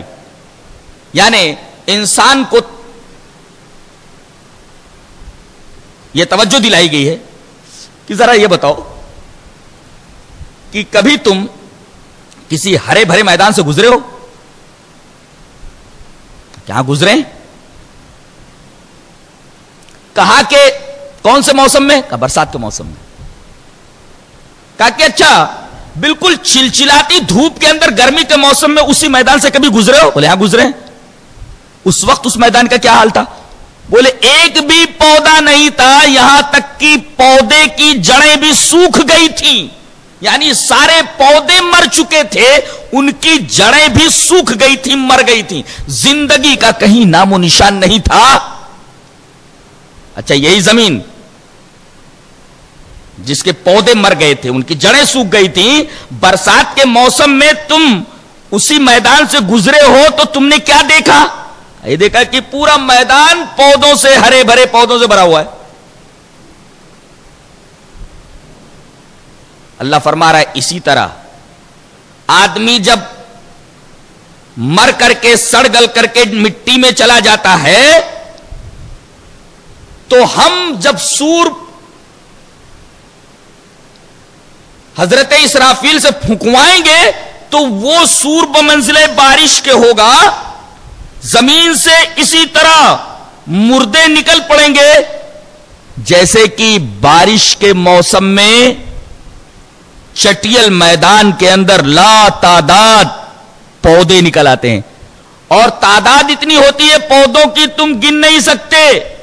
इसी तरीके से सूर फूके जाने के बाद जब ज़मीन से मुर्दे निकलने लगेंगे तो उनकी कसरत इतनी होगी कि तुम उनको गिन नहीं पाओगे। अल्लाह तबारक ताला ने बास बादल मौत पर एक मुशाहदाती दलील पेश की। उसके बाद यह फरमाया सुबहान खलकल अर्दा खलकल अजवाज कुल्लहा, पाक है वो जात जिसने हर चीज़ के जोड़े बनाए हैं। आज साइंस इस बात को मानती है कि कायनात में कोई शय ऐसी नहीं है जिसका जोड़ा ना हो। यहाँ तक कि नबातात के अंदर भी, पौधों में भी जोड़े होते, दरख्तों में भी जोड़े होते। आज से 1400 साल पहले कुरान के अंदर ये थेरी मौजूद है। सुबहान अल्लवी खलकल अजवाज कुल्लहा। पाक है वो जात जिसने हर चीज़ को जोड़ा जोड़ा बनाया है। गोरे के मुकाबले में काला, काले के मुकाबले में गोरा, लंबे के मुकाबले में नाटा, खूबसूरत के मुकाबले में बदसूरत। हर चीज़ का जोड़ा है। मर्द के मुकाबले में औरत। और एक बात और याद रखो कि कोई चीज़ अपने जोड़े से मिले बगैर अपना मकसद पूरा नहीं कर पाती। मसलन, मर्द अगर औरत से ना मिले तो इंसान की नस्ल नहीं चलती। गोया मकसद उस वक्त पूरा होगा जब चीज़ अपने जोड़े से मिले। जब हर चीज़ का एक जोड़ा है यह भी मानते हो। और यह भी तस्लीम करते हो कि कोई चीज़ अपने जोड़े से मिले बगैर अपना मकसद पूरा नहीं कर सकती तो दुनिया है, उसका एक जोड़ा होना चाहिए, वो आखरत है। और दुनिया जब तक आखिरत से न मिले, तब तक उसका मकसद पूरा नहीं होता। लिहाजा मानो कि दुनिया के बाद एक दूसरा आलम है, जो मरने के बाद तुम्हारे सामने आएगा, उसी को आखिरत कहते कितनी शानदार दलील दी गई है। अल्लाह तबारक वाली ने कानून तजवीज से बास बादल मौत के ऊपर इस्तेदल फरमाया। रहा आवागमन का तनासुक का और पुनर्जन्म का मामला तो यह अक्ल के बिल्कुल खिलाफ है। री इनकारनेशन का जो कॉन्सेप्ट है, वो बिल्कुल इलॉजिकल है गैर मंतिकी इसलिए कि कॉन्सेप्ट यह है री का कि एक इंसान दुनिया के अंदर अच्छे अमाल करता है तो मरने के बाद इसी दुनिया के अंदर उसे अच्छे जोन में मुंतकिल कर दिया जाता है। और अगर कोई आदमी बुरे अमाल करता है तो उसे कुत्ता बना दिया जाता है, बिल्ली के जोन में रख दिया जाता है, सजा भुगतने के लिए कीड़ा बना दिया जाता है, कोई और जानवर बना दिया जाता है। सवाल यह है कि एक शख्स ने बुरे अमाल किए, मरने के बाद उसे कुत्ता बना दिया गया। किसी जानवर की जोन में उसको मुंतकिल कर दिया गया। अब यहाँ पर एक सवाल उठता है कि गलत और सही, खैर और शर, इनकी तमीज यह इंसान का खासा है। जानवरों के अंदर यह सलाहियत ही नहीं है कि यह जान सके कि खैर क्या है, शर क्या है। गलत क्या और सही क्या है? मुफीद और मुजिर की तकसीम तो है, लेकिन गलत और सही की तकसीम उनके यहाँ नहीं है। तो जब यह इंसान का खासा है कि गलत क्या, सही क्या है, जानवरों का यह खासा नहीं है कि यह जान सके कि खैर क्या शर क्या है तो वो कैसे जानेंगे कि यह खैर है यह शर है? सलाहियत ही नहीं ना जानने की। तो वो खैर कैसे करेंगे? फिर अगले जोन के अंदर वो अच्छे कालम में ढाले जाएँ, कालम में मुंतकिल किए जाएँ। जब उसे मालूम ही नहीं नेक अमाल क्या है और अच्छे, बुरे अमाल क्या है तो वो अच्छे बुरे अमाल जाने बगैर कैसे नेक अमाल करेगा?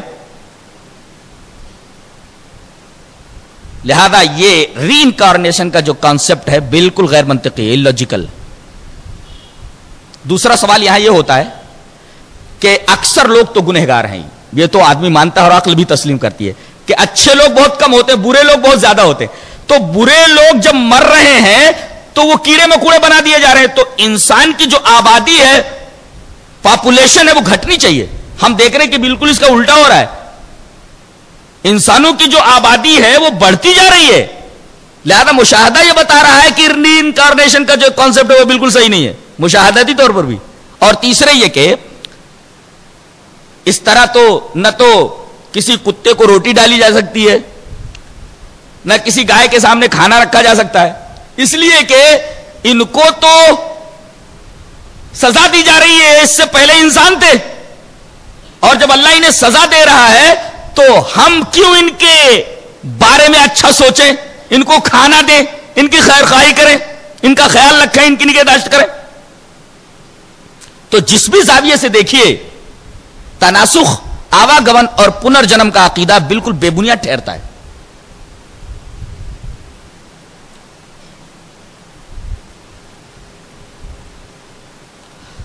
आगे ये बताया जा रहा है, वल कमर कद्दर ना हो मनाजिल कदीम। बाद लोग चाँद की पूजा करते हैं, चाँद की परस्तिश करते हैं। दर हकीकत ये तुम्हारे लिए मुसखर कर दिया गया है। हमने इसके लिए मंजिलें मुकर की आमतौर पर 29 या 30 दिन के अंदर ये ज़मीन का चक्कर पूरा कर लेता है। लेकिन चूँकि एक दिन वो मस्तूर रहता है, अमावस्या के दिन तो उमूमन कुल 28 मंजिलें इसकी होती हैं। उमूमन, जनरली, आमतौर पर 28 मंजिलें इसकी होती हैं। एक दिन अमावस्या के दिन मस्तूर रहने की वजह से। अल्लाह ने फरमाया, ये चाँद बढ़ता रहता है, बढ़ता रहता है, फुल मून हो जाता है। फिर घटता रहता है, घटता रहता है। हत्ता आदकल उर्जूनिल कदीम, यहाँ तक के खजूर की पुरानी शाख की तरह हो जाता है। और इसकी कमर बिल्कुल टेढ़ी हो जाती है। बताओ, जो घटता हो, बढ़ता हो, और आखिर में जिसकी कमर टेढ़ी हो जाती हो इस कूजा पुष्ट की, इस टेढ़े कमर वाले की इबादत। अकलन तस्लीम की जा सकती है, जो घटे बढ़े और आखिर में उसकी कमर टेढ़ी हो जाए, इस टेढ़ी कमर वाले की इबादत की जा सकती है। इसका घटना बढ़ना, आखिर में टेढ़ी कमर वाला हो जाना, इस बात की खुली हुई दलील है कि यह माबूद नहीं हो सकता, इसके ऊपर कोई हुक्म रहा है, जिसको घटा रहा है, बढ़ा रहा है, और इसकी कमर टेढ़ी कर दे रहा है। यह सूरज भी परस्तिश के लायक नहीं है। क्यों? वह शम्स तजरील मुस्तकर का तकदीर अज़ीज़ यह सूरज भी अपने मुस्तकर की तरफ़ जा रहा है। मुस्तकर के दो मतालिब होते हैं। एक मुस्तकर जमानी और एक होता है मुस्तकर मकानी। मुस्तकर मकानी का मतलब यह है कि अपने ऑर्बिट के अंदर घूम रहा है। बाहर नहीं जा पा रहा है अपने ऑर्बिट से। यह है मुस्तकर मकानी। अगर अपने ऑर्बिट से निकल जाए तो कायनात का निज़ाम दरहम बरम हो जाए। उसका अपने ऑर्बिट ही में रहना, मुस्तकर में रहना इस बात की दलील है कि कोई उसे ठहराए हुए वो माबूद नहीं हो सकता। उसके ऊपर किसी को हुक्मरानी है। और मुस्तकर दमानी का मतलब जैसे इंसान के ऊपर से जब वक्त गुजरता है, ऐसे ही सूरज के ऊपर भी वक्त गुजर रहा है। जैसे एक वक्त में इंसान मर जाता है ऐसे ही सूरज के ऊपर भी वक्त गुजर रहा है। एक दिन वो भी बेनूर हो जाएगा। यह है मुस्तकर जवानी। गौर कीजिए, साइंसदानों ने बताया है कि तकरीबन 250 किलोमीटर फ़ी सेकंड अपने महवर पर गर्दिश कर रहा है। पूरे निज़ाम शमसी को लिए हुए। उसकी रफ्तार है। और इसकी मदारी गर्दिश कब पूरी होती है? 27 दिन के अंदर तो इसकी महवरी गर्दिश पूरी हो जाती है। 250 किलोमीटर फ़ी सेकंड के हिसाब से। और इसकी जो मदारी गर्दिश है, वो तकरीबन 500 बिलियन सालों के अंदर पूरी होगी। 500 बिलियन सालों के अंदर इसकी मदारी गर्दिश पूरी होती। एक अजीम कोरा है। और यह चल रहा है। कोई तो कोई चलाने वाला है। यह माबूद नहीं, बल्कि इसके ऊपर कोई हुक्म रहा है। उसके बाद यह फरमाया गया वही नशा नुकरी कहूँ फला सरी कदूर हमने बास किताबों के अंदर पढ़ा है कि कश्ती कहीं डूब रही थी, एक बुज़ुर्ग गए, उन्होंने अपना हाथ लगा करके, कमर लगा करके, उस कश्ती को दरिया के पार कर दिया। अल्लाह फरमा रहा है, ऐसा होता नहीं है। वही नशा नुगरी नुकरी अगर हम चाहें तो उनको गर्क कर दे, फला सरी खलहम उनका कोई फरियादरस ना हो, उनका कोई गौस ना हो वलायुन कजून और ना तो उनको बचाया जा सके। अल्लाह यह फरमा रहा है कि अगर हम किसी कश्ती को डुबोना चाहे तो फला सरी खलहम कोई फरियादरस वहाँ पहुँच नहीं सकता। कोई उस कश्ती को नहीं निकाल सकता, और ना उन कश्ती वालों को बचाया जा सकता है।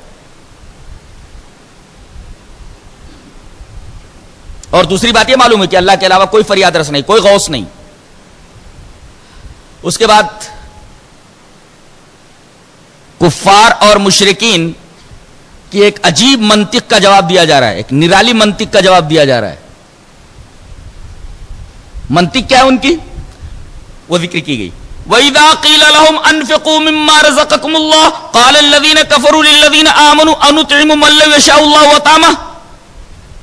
कि जब इनसे कहा जाता है कि अल्लाह ने जो तुम्हें दिया है, उसमें से खर्च करो, गरीबों को दो। तो इनका जवाब क्या होता है? काल लदीन कफर उल्लदीन आमनु तो ये काफिर ईमान वालों से बोलते हैं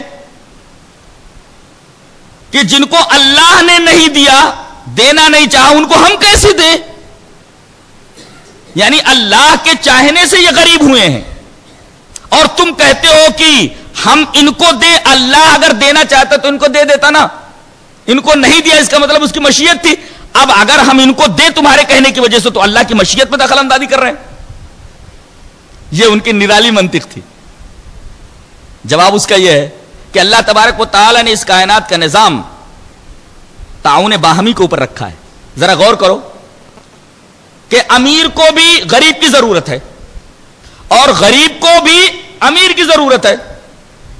अगर अमीर का जूता फट जाए तो सिलने वाला कौन होगा? एक गरीब आदमी। तो यूँ अमीरों को गरीबों की ज़रूरत है। और गरीब जब जूता सिलेगा तो उसे पैसा मिलेगा।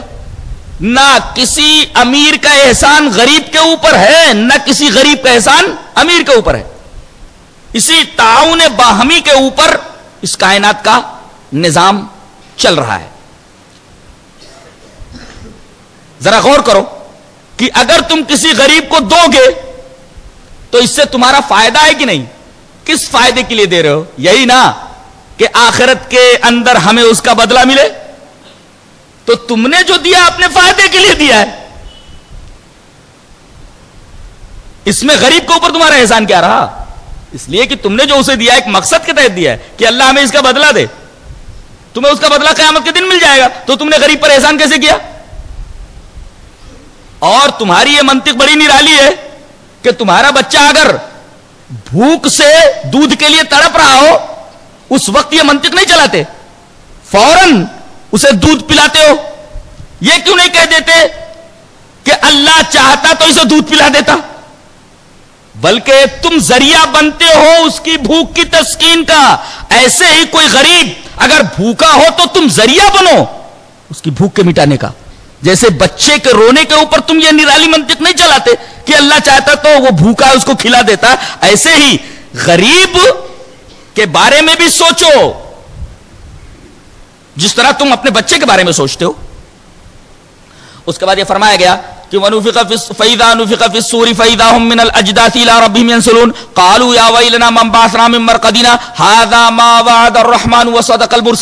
कहते जब अल्लाह तबारक व ताला के हुक्म से सूर में फूंक मार दिया जाएगा, इसराफील सूर फूंक देंगे तो तमाम मुर्दे अपनी अपनी कब्रों से उठ करके भागने लगेंगे।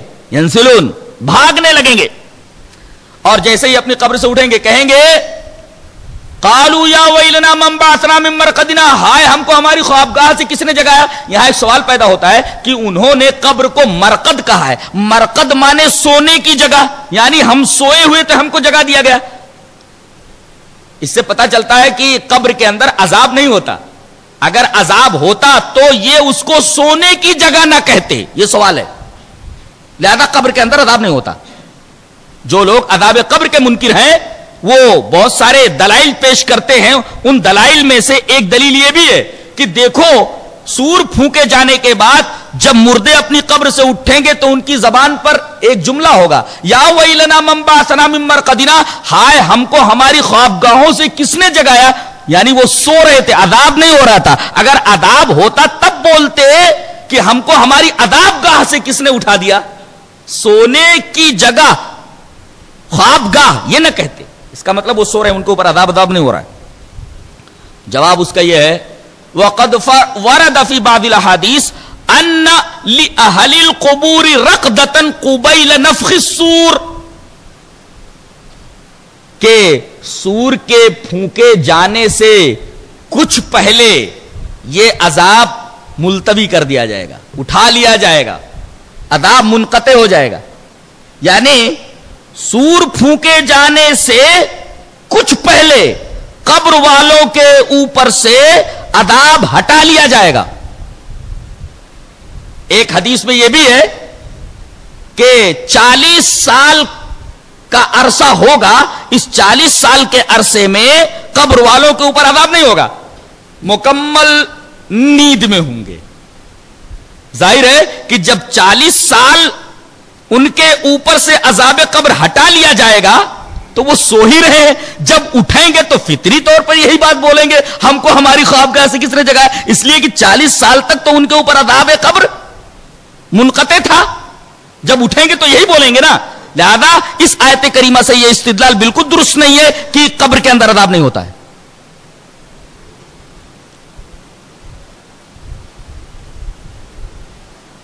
उसके बाद कहा जा रहा है कि बाद बदबख्त ऐसे होंगे जो अल्लाह की कसम खाकर अल्लाह के सामने बोलेंगे कि हम शिरक वाले नहीं थे।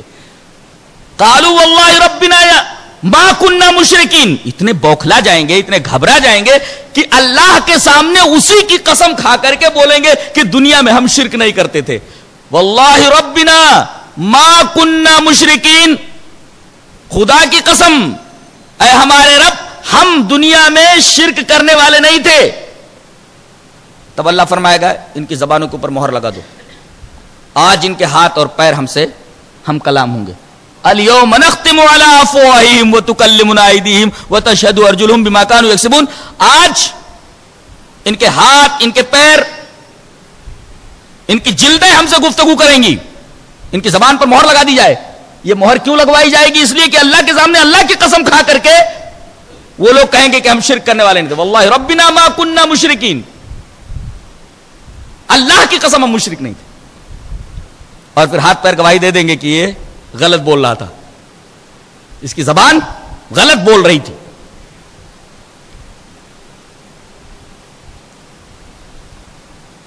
उसके बाद एक अजीब बात कही जा रही है। वत्तखदू मिन दून आलिहतल्लाहुम ला यस्ततिऊन नसरहुम वहुम लहुम जुंदुम मुहदरून।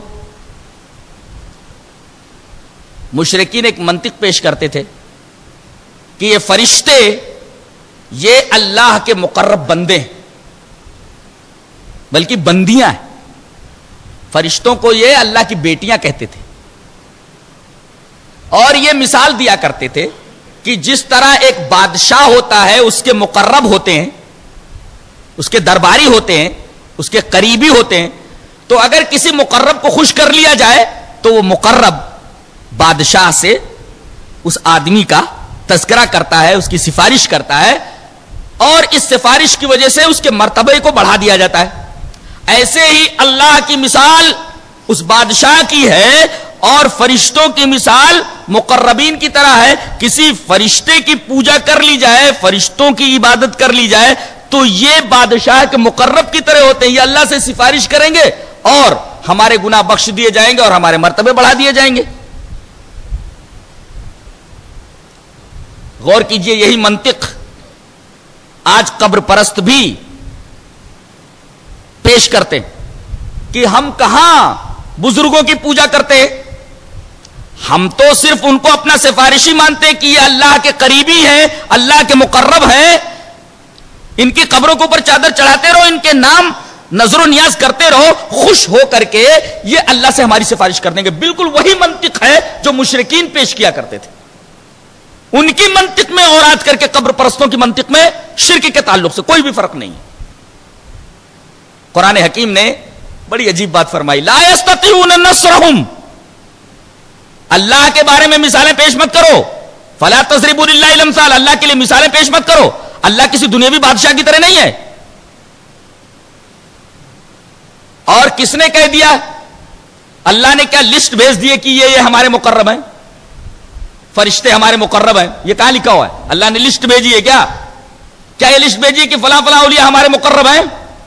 ये अगर कोई बात कहे तो हम उनकी बात को नहीं टालेंगे। क्या हमने लिस्ट भेजी है? या ऐसी बात कही हमने? तुम्हारे सामने भेजी है, रखी है?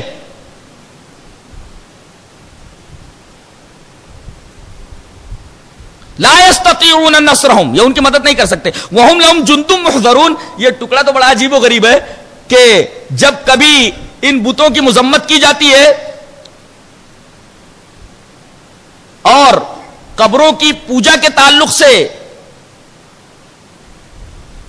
जब बात की जाती है और इस हरकत की मजम्मत की जाती है तो अपने मबूदों की हिमायत खुद इनके पुजारी करते हैं। जब मामला यह है कि ये माबूद जिनकी ये पूजा कर रहे हैं, उनकी कोई मजम्मत करे तो उसकी मुदाफात नहीं कर सकते, उसका दिफा नहीं कर सकते, दिफा करना पड़ता है बेचारे पुजारियों को।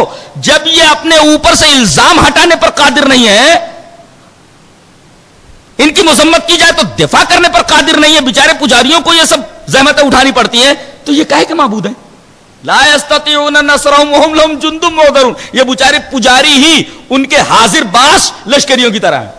हमेशा हाजिर रहते हैं और कोई इन्हें कुछ कहे तो उसका जवाब ये खुद देते हैं। माबूद दफ़ा करने पर कादिर नहीं है। कैसा माबूद है? उसके बाद एक साइंसी, हकीकत बयान की जा रही है। साइंटिफिक फैक्ट है।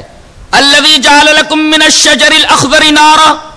वही दात है जिसने सब्ज दरख्त से, हरे दरख्त से आग निकाली। यानी द